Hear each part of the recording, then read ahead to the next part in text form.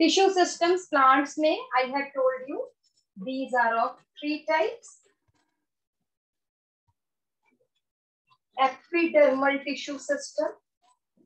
Epidermal tissue system जो tree के बाहर वाली साइड है ये बाहर जो इसके बाहर अगर दिख रहा है तो ये है एपिडर्मल जो प्रोटेक्ट करती है उसकी जो अंदर वाली लेटर से हम ये पेन की ही बात करते हैं इसकी जो अंदर वाली वॉल है वो हम कह देते हैं that is ground tissue system और जो ये मार्कर का जिससे हम लिखते हैं, जिसमें इंक वगैरह भरी जाती है दैट इज़ लेटर से हम ग्राउंड टिश्यू सिस्टम ठीक है? तो epidermal tissue system then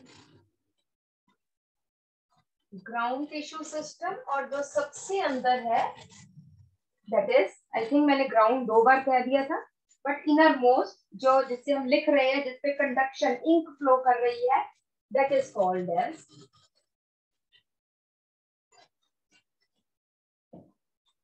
vascular tissue system epidermal tissue system आपके आई थिंक नाइन्थ में नाइन्थ में आपने किया है कि नहीं किया? टिश्यू जोरावर। समरीत हाँ ना किया है हाँ। समरीत ने किया बच्चे? यस मैम ओके चलिए थोड़ा सा अब हम यहाँ पे बता दें। Epidermal tissue system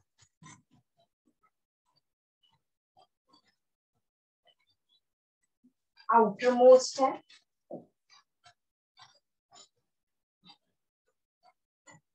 forms the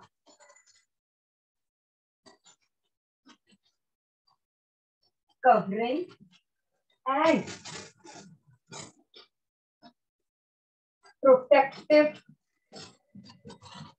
tissue system or any plant organ. जैसे हम कुकम्बर छीलते हैं लटस से कुकम्बर का जो छिलका है, वो किसमें आ जाएगा? एपिडर्मल टिश्यू सिस्टम में उसके बाद जो हार्ड पार्ट है, वो लेटस से मैं कह रही हूँ, उसमें नहीं, क्योंकि फ्रूट में वेस्कुलर टिश्यूज नहीं होते हैं तो वो हो जाएगा ग्राउंड टिश्यू सिस्टम और जो बीज में बीज आ गए हैं दैट इज़ लेटस से फॉर एग्ज़ाम्पल मैं बता रही हूँ थ्री रीजन्स में डिफरेंशिएट हम कर रहे हैं, और कुछ नहीं कर रहे that is vascular tissue system तो it is composed of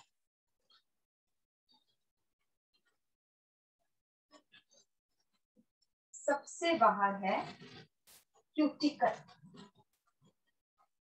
cuticle जो है वैक्सी लेयर है।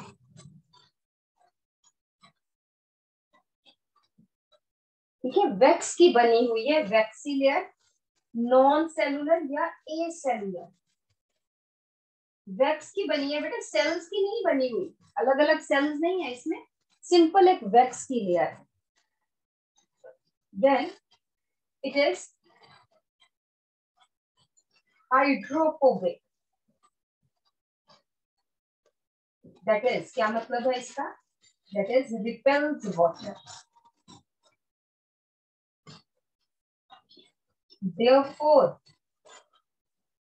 prevents transpiration, loss of water from the plant. Transpiration आप सबको पता ठीक है? अनदर इज़ क्यूटिकल के ही बारे में हम बता रहे हैं। कि it is absent in roots Zorawar absent roots में क्यूटिकल नहीं है। क्यों नहीं है? क्या रीजन हो सकता है? थोड़ा सा सोच के बताओ।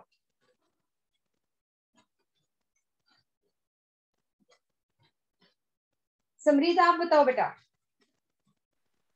मैम क्योंकि रूट्स मैम वाटर लेंगी तो मैम वही आगे ट्रांसफ़र करेंगे। मैम अगर वही वाटर मैम बाहर निकालने लगी तो फिर मैम प्लांट को कैसे मिलेगा? तो ये वैसे आपने नया रीजन बताया और ये गलत नहीं है बट दूसरी बात ये है कि रूट्स जो है वो अंडरग्राउंड है, वो एक्सपोज ही नहीं है एनवायरमेंट में ठीक है तो एनवायरमेंटल चेंज जो है टेम्परेचर का, वो रूट्स को इफ़ेक्ट ही नहीं करता। राइट तो absent in roots as these are underground and do not transpire.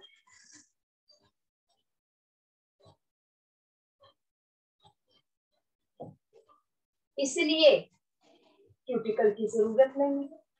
Another is absent in aquatic plants.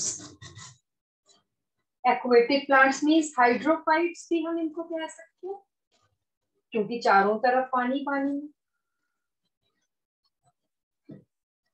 पहली बात तो पानी के अंदर है तो कैसे एटमॉस्फेयर को जो है वो एक्सपोज हो ठीक है ना? तो अगर यहाँ पे थोड़ा सा अगर हम बात करें तो सबमर्ज जो पानी के अंदर है प्लांट्स उनमें accent right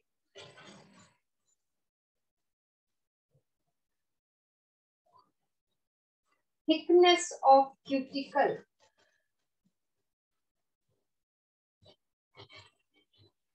Depends on the atmosphere. Where plants are grown. अगर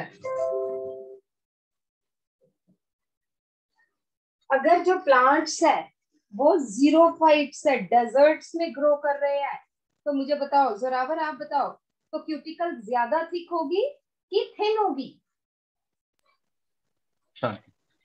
मैम बेटा अगर प्लांट्स डेजर्ट्स में ग्रो कर रहे हैं मैम? बोलो। थिक होगी बेटा ज़्यादा थिक होगी वहाँ पे क्योंकि डेजर्ट्स में हाई टेम्परेचर है। अच्छा यस यस यस है ना? हाँ रेट ऑफ़ ट्रांसपीरेशन बहुत हाई होगा। इसलिए अगर इतना एक तो पानी मिल नहीं रहा ऊपर से ट्रांसपीरेशन भी हाई है तो इसलिए उस ट्रांसपीरेशन को बचाने के लिए जो डेजर्ट प्लांट्स है ज़ीरो फाइट्स है दे हैव थिक क्यूटिकल ठीक है? तो ये हम बाद में लिखते हैं, दूसरी बात। ठीक है? या फिर मैं, या फिर ये ऊपर को करके लिख दू। Such as desert plants or xerophytes have very thick skin.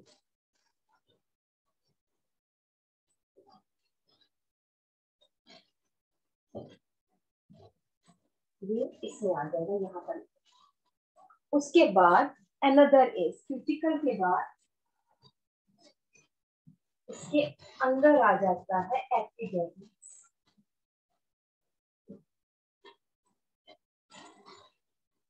अगर ये स्टेम है और ये बाहर इसकी ग्रीन स्टेम है क्यूटिकल है तो ये दिस इज़ एपिडर्मिस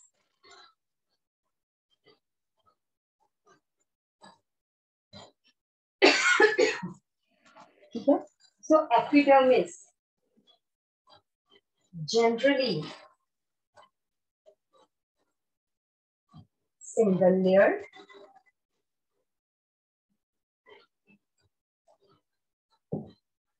ठीक है प्रोटेक्टिव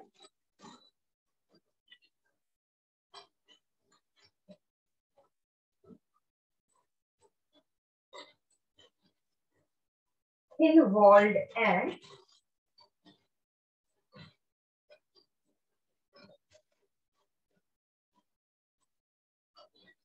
parenchymatous है ठीक है? नो इंट्रासेलुलर स्पीसीज आईसी मतलब इंट्रासेलुलर स्पीसीज ठीक है? ये मैं यहाँ पे अग, अगला यहाँ पे लिख रही हूँ। Key in stem and roots.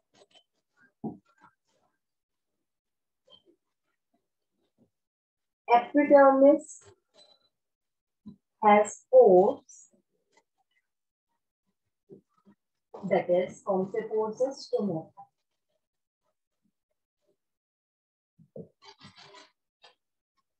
किस लिए होते हैं स्टोमेटा और मेन फ़ंक्शन इसका है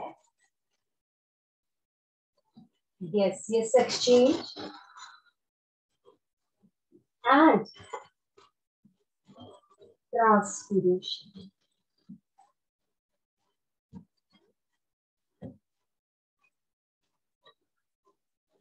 As critical absent in इसमें roots and Submerged hydrophytes.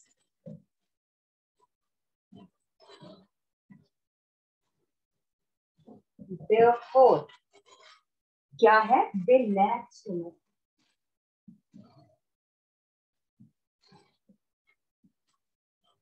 तो गैसियस एक्सचेंज कैसे होगी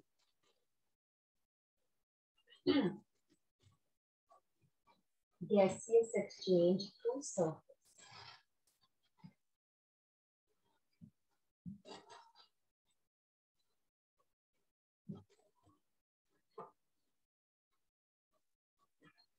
ठीक है? अब क्या है?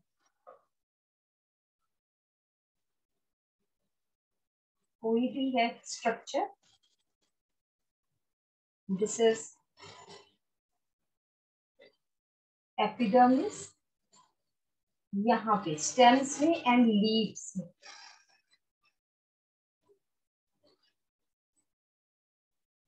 ये पोर्स है दिस इज़ स्टोमेटा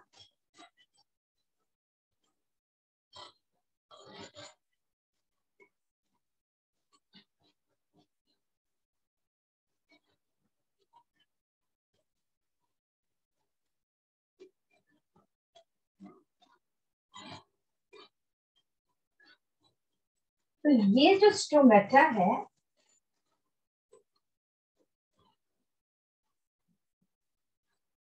अगर हम स्ट्रक्चर ड्रॉ करें तो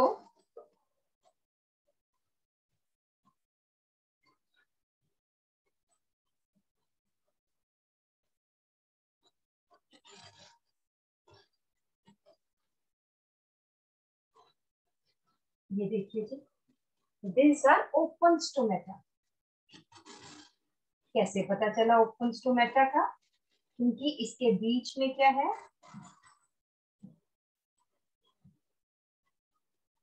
स्टोमेटल फोर है।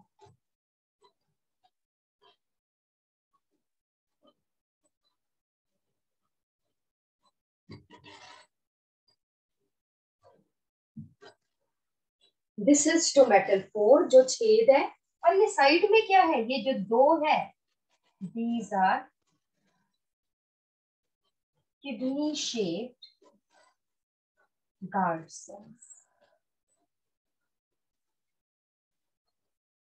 अब देख रहे हो गार्ड सेल्स जो है, इसकी ये इनर वॉल्स थिक है?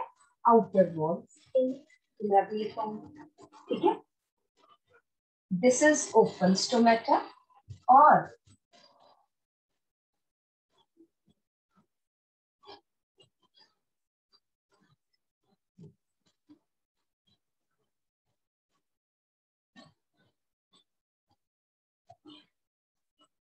these are closed stomata जब स्टोमेटा जो है स्टोमेटल पोर्ट बंद है तो दीज आर क्लोज स्टोमेटा एक बस लास्ट पॉइंट और फिर आप लिखना। कि ये जो है किडनी शेप गार्ड सेल्स है, ये है डायाकॉट्स अगर मोनोकॉट्स हो, जैसे ग्रासेस है, जिनमें एक ही कॉटिलिडन होता है तो ये जब जो लोग वेट लिफ्टिंग करते हैं तो ये इनको क्या बोलते हैं? डम्बल बोलते हैं? ठीक है बराबर मैं ठीक बोल रही हूँ? Yes ma'am these are dumbbell so this is dumbbell shaped guard right तो यहाँ पे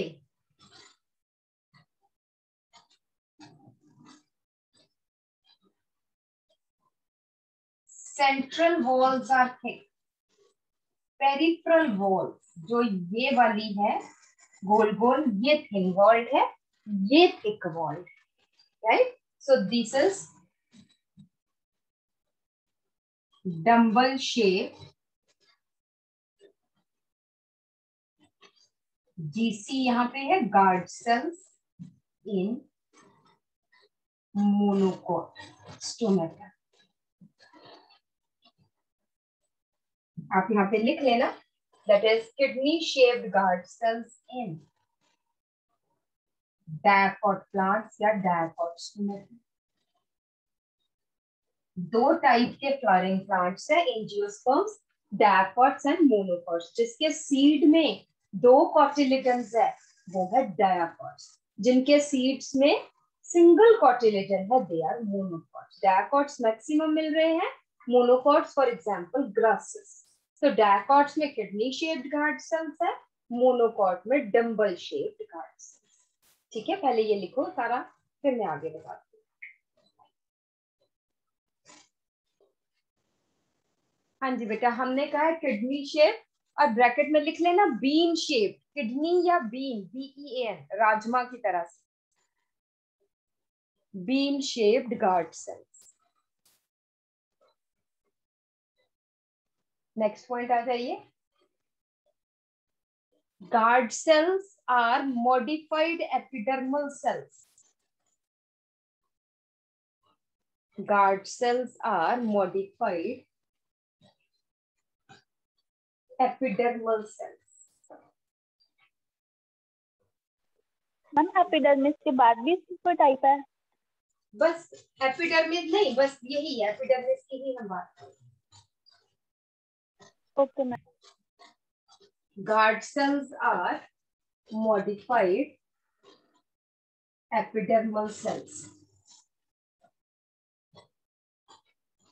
फिर आगे थोड़ा सा ताकि आपको क्लैरिटी भी रहे डिफरेंस इन सब टॉपिक लिख लेना differences in epidermal cells and guard cells तो दो मेन डिफरेंसेस है फ़र्स्ट है गार्ड सेल्स है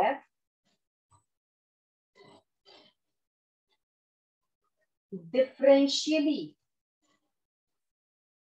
Thickened walls differentially thickened walls का क्या मतलब है? कि कुछ जगह थिक है और कुछ जगह थिन है। That is inner walls thick and outer walls outer walls जो है वो थिन है इनर वॉल्स जो है वो थिक है। जबकि जो एपिडर्मल सेल्स है, दूसरी तरफ़ है epidermal cells are thin Another is guard cells are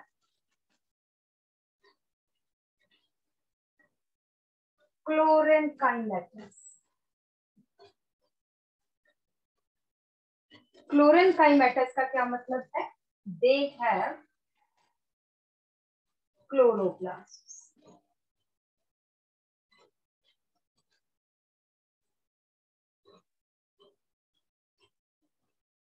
Parent chymatis तो है ही है, but F that is F chloro. देखो स्पेलिंग ठीक लिखने chlorenchymatous not parenchymatous it is chlorine that is have chloroplast जबकि यहाँ पे जो है दे लैक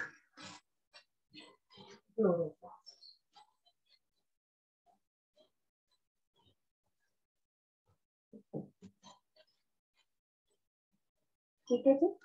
तो these are two major differences between guard cells and epidermal cells next हम आ जाते हैं। हम अभी स्टोमेटा के बारे में बात कर रहे हैं।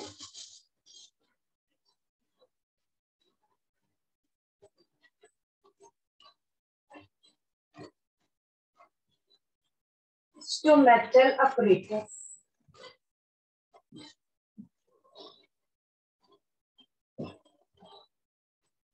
स्टोमेटल अपरेटस में क्या होता है?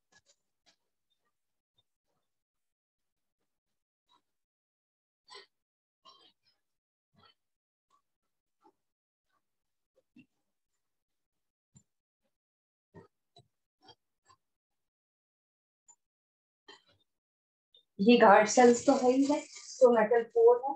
और यहाँ पे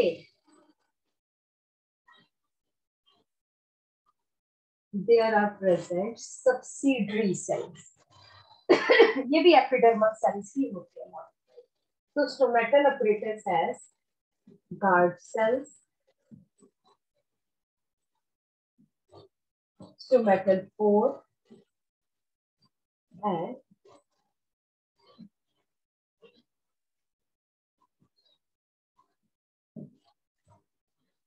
subsidiary से ठीक है जी? नेक्स्ट आ जाते हैं। Different condition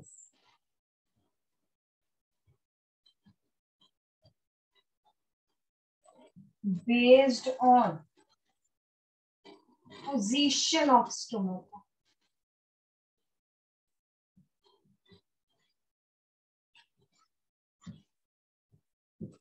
stomata कहाँ पर प्रेजेंट पहली बात तो आ जाती है एस्टोमेटिक कंडीशन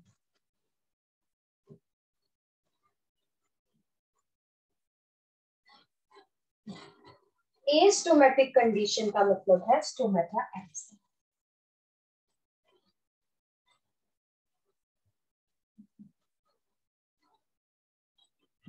एग्ज़ाम्पल है सबमर्ज्ड हाइड्रोफाइल्स मैंने रीजनिंग आपको बता दी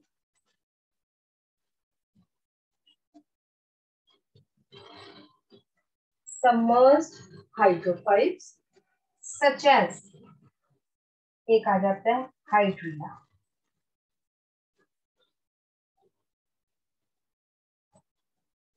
उसके बाद आ जाता है बेटा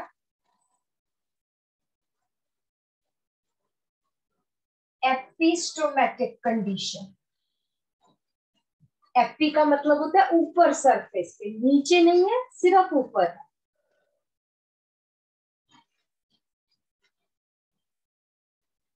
Stomata on upper surface of leaves. Only. That is epistomatic condition. Example है, immersed hydrophytes.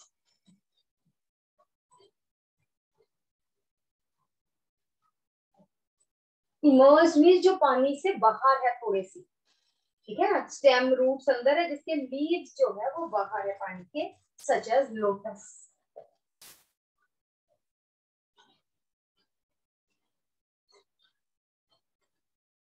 तीसरा आ जाता है बेटा।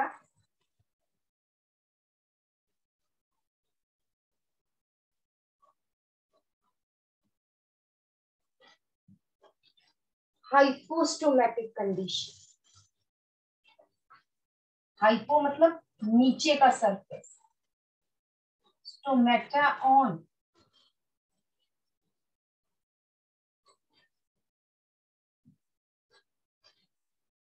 lower surface of leaves.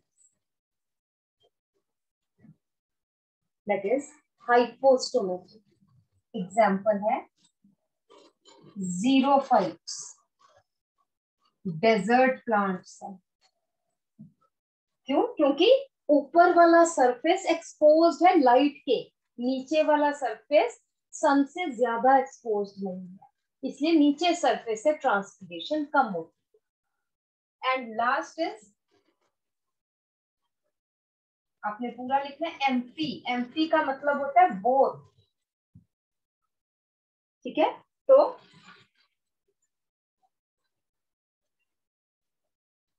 equal number of stomata on both the surfaces Examples are plants growing in moist areas.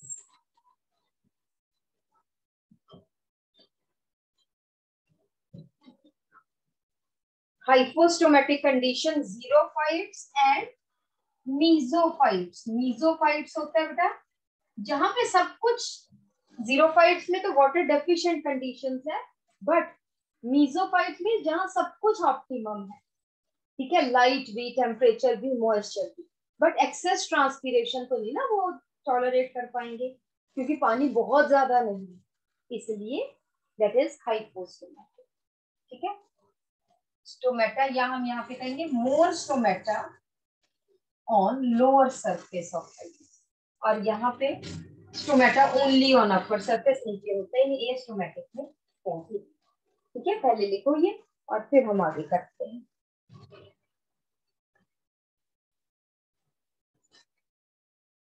Next हम आ जाते हैं बेटा।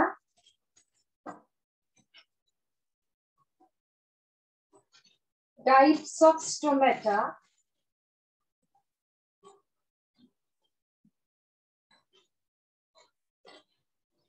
based on their time of opening कब खुलते हैं, कब बंद होते हैं? तो हमारे पास दो टाइप के स्टोमेटा है। Photo active and scoto active photo active stomata and scoto active So photoactive and scotoactive. Photoactive में लिखा photo मतलब light. Light में active है. These stomata, these stomata open during daytime open during daytime and close during night time. Close during night time.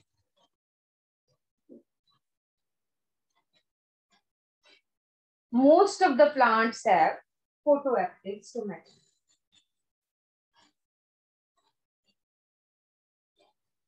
Next point है. Scoto active scoto का मतलब होता है डार्क ब्रैकेट में लिख लो. स्कोटो मतलब dark the stomata which open during night which open during night and close during daytime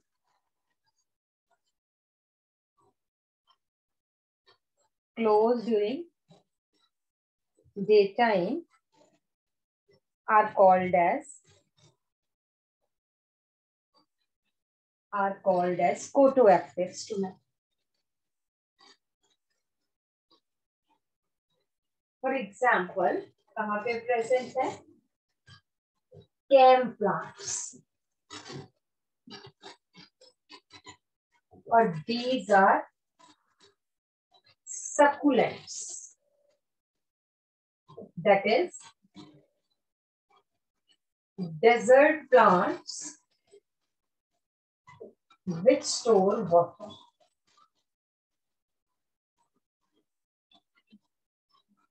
उनको बोलते हैं cam plant such as cactus या उपनिशिया उपनिशिया की आपको पता है स्टेम बहुत थिक होती है। They store water in the stem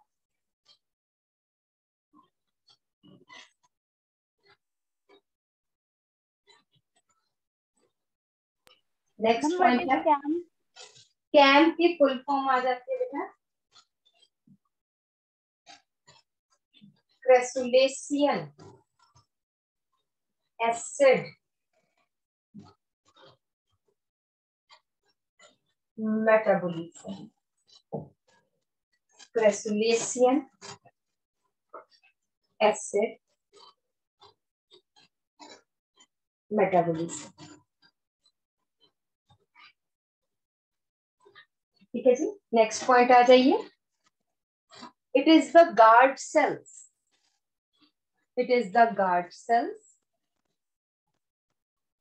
which helps in which helps in closing ma'am ये कोट्रैक्टिव में लिखना नहीं नहीं जनरल जनरल पॉइंट है सभी में सभी टाइप के स्टोमेटा में it is the guard cell which helps in opening or closing of stomata.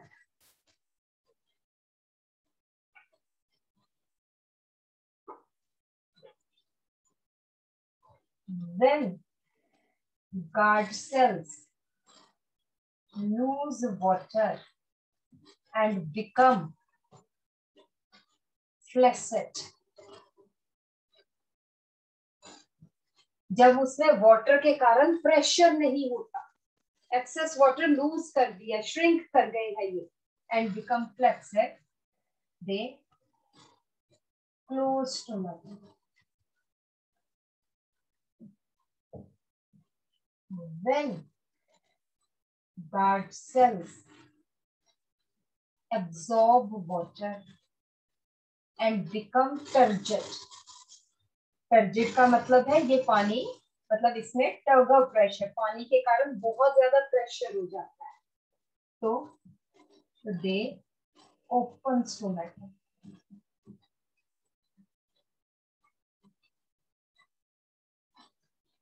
right so these are some points of stomata है तो और भी बहुत सारी चीज़ें।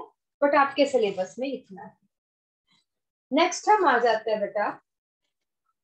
इसी में एपिडर्मिस में ही थर्ड कंपोनेंट आ जाता है। ट्राइकोम्स और हेयर ट्राइकोम्स और hair the epidermal cells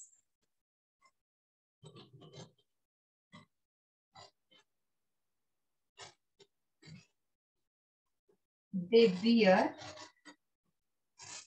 hairy structures.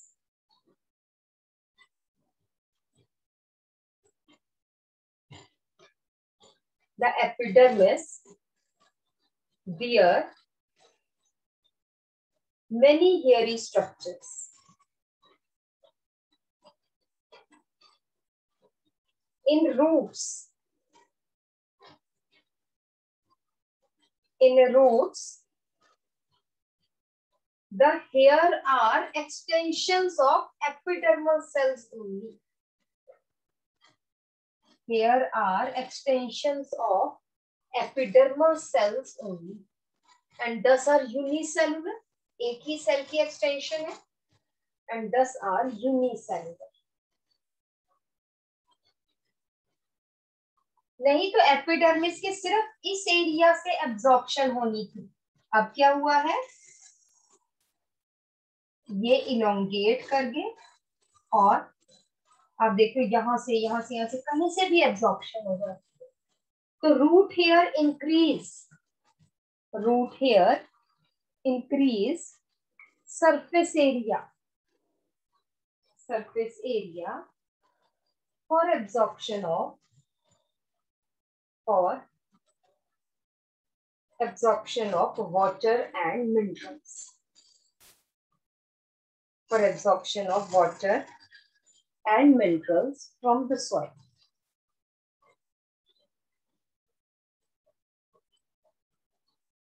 Whereas the stem here are called as trichomes. Whereas the stem here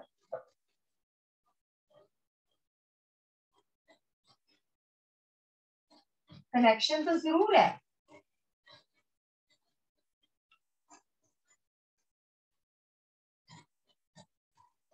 are called as trichomes. They are multicellular.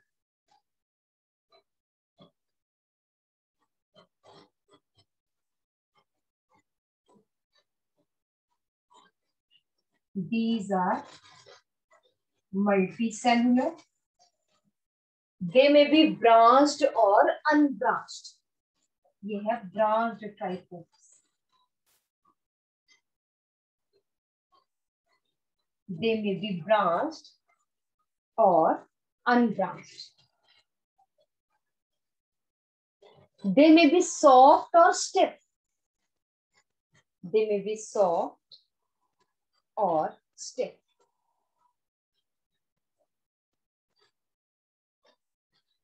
In some cases, in some cases, they may be secretory. Mucilage secrete करती है, कोई watery fluid secrete करती है they may be secretory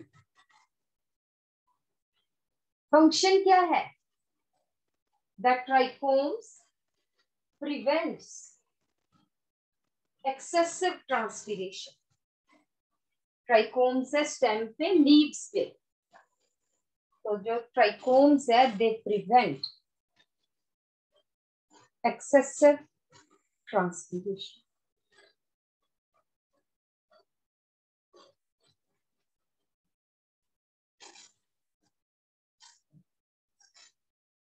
next हम आ जाते हैं बेटा।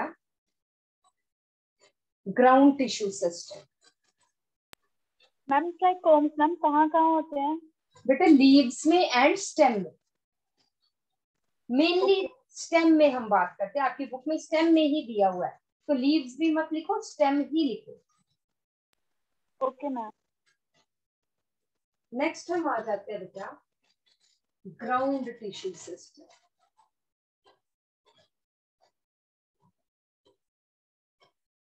जैसे हमने बताया कि बाहर एपिडर्मल टिश्यू सिस्टम है सेंटर में वेस्कुलर टिश्यू सिस्टम है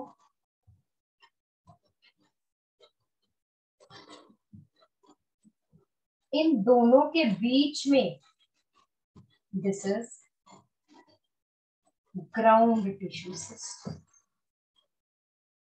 इसका मेन मेनली तो ये किसकी बनी हुई है? दैट इज़ पेरेंकाइमा कैसे बट इसमें कोलनकाइमा स्क्लेरेंकाइमा भी आती है। ठीक है? और मेन फ़ंक्शन इनका क्या है?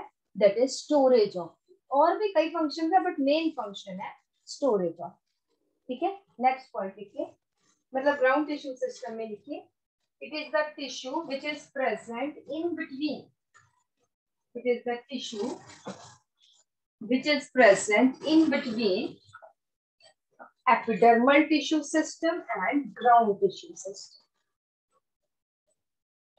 Epidermal tissue system and ground tissue system. Vascular tissue? Uh, sorry, I'm sorry. It is present between epidermal tissue system and vascular tissue system. It consists of parenchyma, colenchyma, and sclerenchyma.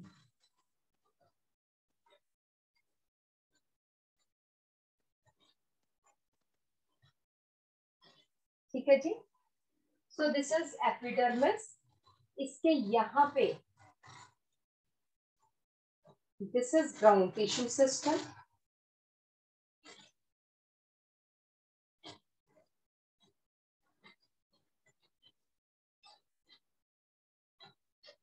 this is cortex. Cortex के बाद आ जाता है बेटा।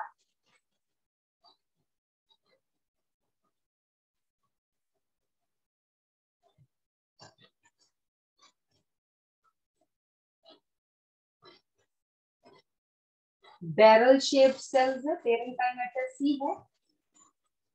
But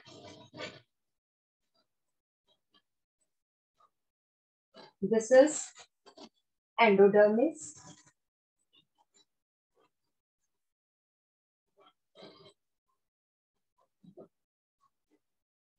अंदर जो है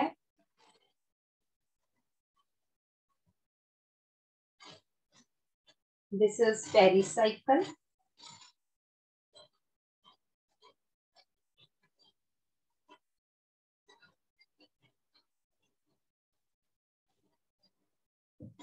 This is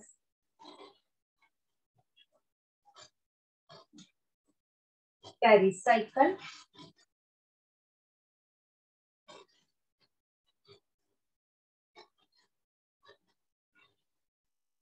These are medullary rays.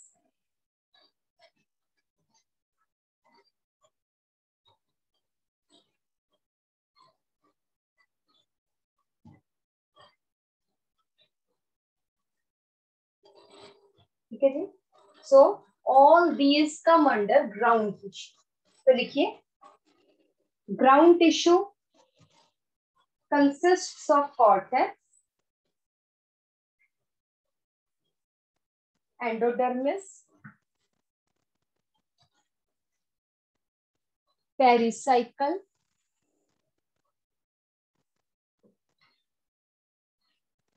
medullary rays,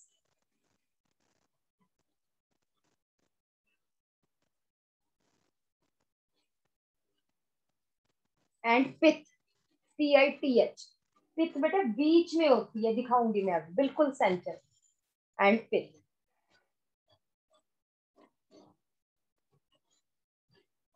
next point लिखिए cortex parenchymatous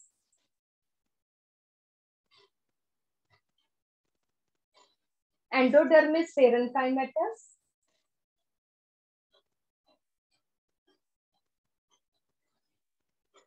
pericycle pericycle के आगे लिखिए in stem in dicot stem in dicot stem pericycle is partly parenchymatous and partly sclerenchymatous.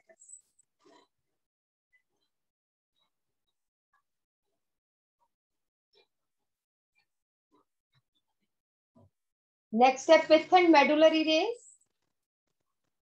Fifth and parenchymatous and cholenchymatous. No, no, sclerenchymatous. Partly parent and partly sclerenchymatous. Next है। Pith and medullary rays again parenchyma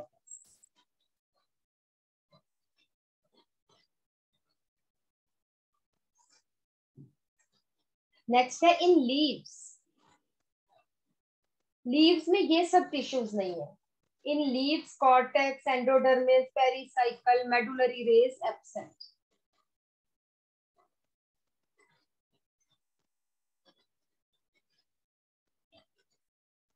but the ground tissue consists of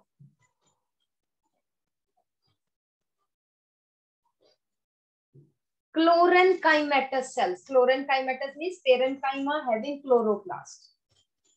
Chlorenchymatous cells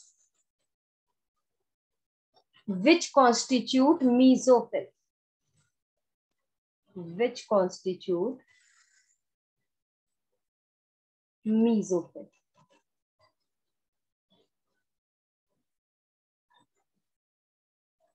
ठीक है जी? तो ये थोड़ा सा बना लो, है ना? थोड़ा इन जनरल सा, फिर हम आगे चलते नेक्स्ट हम आ जाते हैं।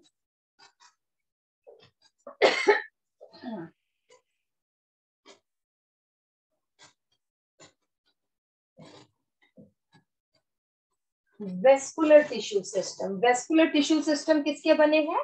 कॉम्प्लेक्स टिश्यूज के बने formed of complex tissues. कौन से कॉम्प्लेक्स टिश्यूज है? जाइलम एंड फ्लो ठीक है?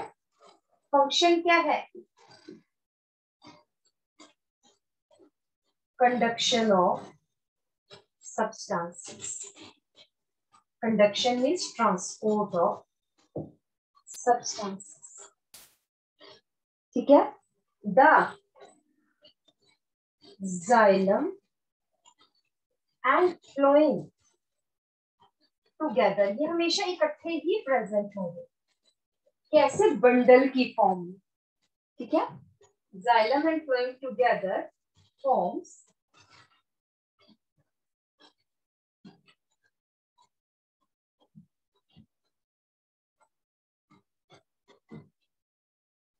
vascular bundle तो अब हम आ जाते हैं कि then there are present open and closed vascular bundle क्या मतलब है इसका? कि अगर ओपन है, ये वेस्कुलर बंडल है, यहाँ पे जाइलम है यहाँ पे फ्लोइंग है and there is a ring of cambium जैसे अगर हम ये कहें कि ये ये वेस्कुलर बंडल है, लंबाई में अगर हम देखें तो ये वेस्कुलर बंडल ठीक है? अगर अंदर जाइलम और बाहर फ्लोइंग और दूसरे, दोनों के बीच में एक सिलेंड्रिकल लेयर है दैट इज़ केम्बियम ठीक? तो उसको हम कहते हैं ओपन वेस्कुलर बंडल्स एग्ज़ाम्पल है diacot stem. Closed vascular bundles. This is cambium. इसमें cambium absent. There is no cambium between xylem and phloem. ठीक है जी? वैसे ही सेपरेट हो गए हैं but no cambium so these are closed vascular bundle example है monocot stem and leaves ठीक है जी? So this cambium helps in secondary growth अभी हम करेंगे वुडी ग्रोथ तो मोनोकॉट स्टेम एंड लीव्स में वुडी ग्रोथ होती नहीं है तो इसलिए यहाँ पे कोई केंद्रियम नहीं. राइट देन नेक्स्ट हम आ जाता है बेटा. Types of vascular bundles based on position of xylem and तो हमारे पास मेनली टू टाइप के वेस्कुलर बंडल्स है। Radial and conjoint radial vascular bundles का मतलब है कि ये वेस्कुलर बंडल मतलब पूरे जो है वेस्कुलर टिश्यूज हम कह दें वेस्कुलर टिश्यू सिस्टम यहाँ पे जाइलम फिर phloem xylem phloem xylem phloem ऐसे अलग अलग डंडे खड़े हुए ठीक है? तो radial vascular bundles when xylem and phloem are present on या in separate bundles. On separate radii अलग अलग रेडियस पे एक ये जाइलम फिर फ्लोएम फिर जाइलम फिर phloem that are radial vascular bundle example है रूट्स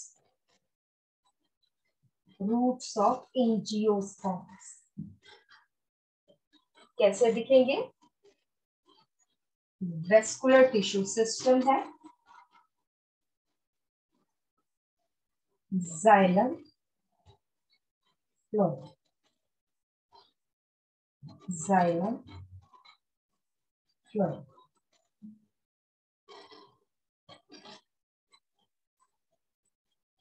xylem phloem तो यहाँ बीच में क्या है? यहाँ पे कंजक्टिव पेरेंटाइमा होता है। हम बाद में बताएँगे।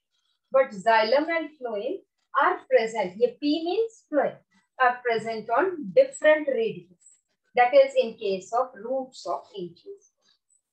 ठीक है जी नेक्स्ट हम आ जाते हैं कंजॉइंट ठीक है यहाँ पे क्या है that xylem and phloem present in same bundle same bundles and on same radii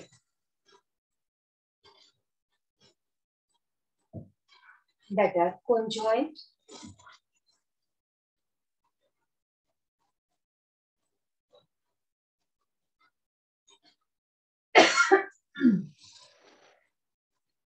they may be present in a ring ज़रूरी नहीं रिंग में ही हो स्कैटर्ड भी हो सकते हैं अगर हम ये बना रहे हैं तो ये जैकॉट stem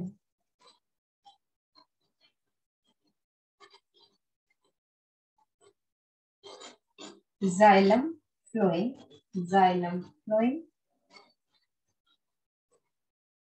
xylem and phloem in same bundle and on same radius ठीक है जी?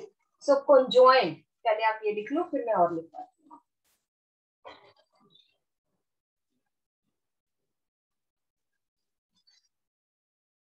चलिए जी नेक्स्ट लिखिए बेटा।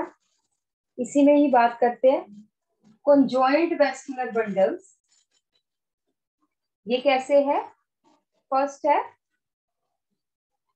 एग्ज़ाम्पल लिखिए आपने conjoint वेस्कुलर bundles एग्ज़ाम्पल है stem and leaves stem and leaves.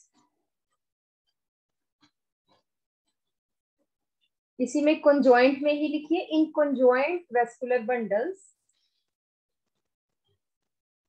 xylem is towards the inner side and phloem is towards the outer side.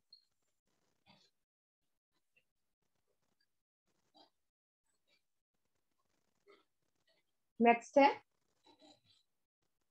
conjoint vascular bundles are open. Are open in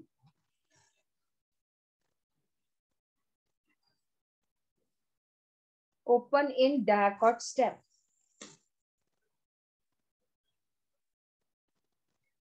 Whereas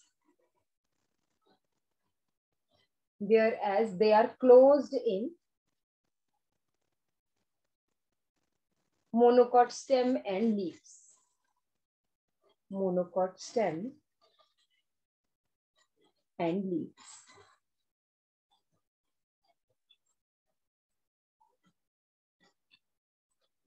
ठीक है जी? यहाँ पे एक और point देख लीजिए star डाल के। In stems of in stems of members of family Cucurbitaceae cooker C U C U R Cucurbitaceae B I T A C A Cucurbitaceae and Solanaceae cucurbits की फैमिली कौन सी होती है? जिसमें घिया, तोरी, खीरा, ये सब आ जाती है। Solanaceae means potato family Cucurbitaceae and Solanaceae comma there are two rings of केंगी there are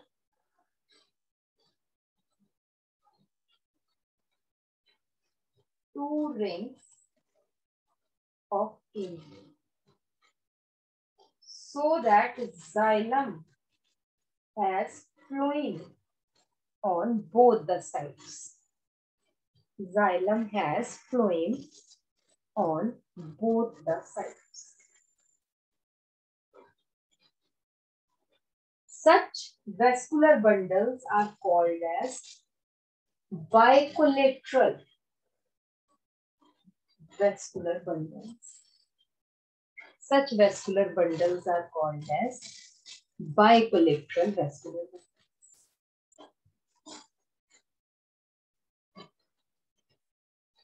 ठीक है जी तो समरीत इसमें से देखो पहले